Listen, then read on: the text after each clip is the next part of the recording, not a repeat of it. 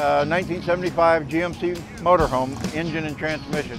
It's the exact same thing as a uh, Oldsmobile Tornado, same year.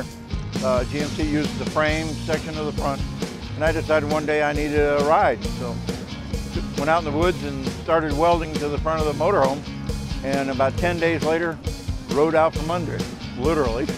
And uh, my first ride towing a trailer with that was on day 11.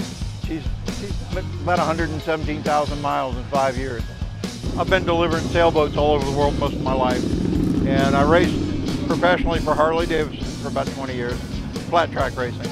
So between the motorcycles and the boats, and you have to learn how to make do.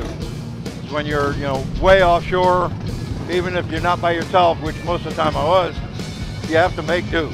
Try not to fall overboard, eat your own cooking, and fix your own stuff that you break.